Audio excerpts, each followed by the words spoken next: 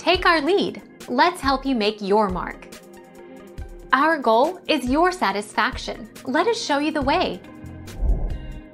Fig pollination is incredible and probably results in you eating mummified wasps. In order to pollinate the plant, a female wasp enters an unripe, male fig, not the ones we eat, and lays her eggs.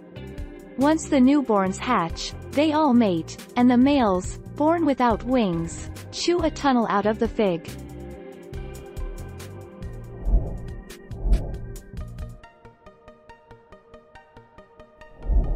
Make your mark. Take our lead. So yes, there is at least one dead wasp inside the figs that we like to eat. Don't worry. We don't end up chomping on wasp exoskeleton. The figs produce ficin, a special enzyme that breaks down the insect's body into proteins that get absorbed by the plant.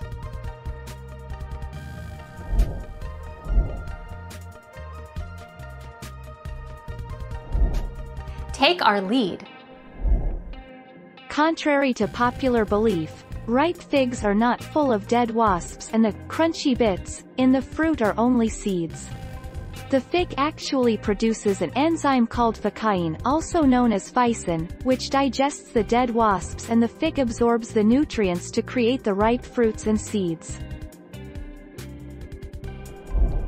Thank you for watching. Please subscribe and hit the bell notification.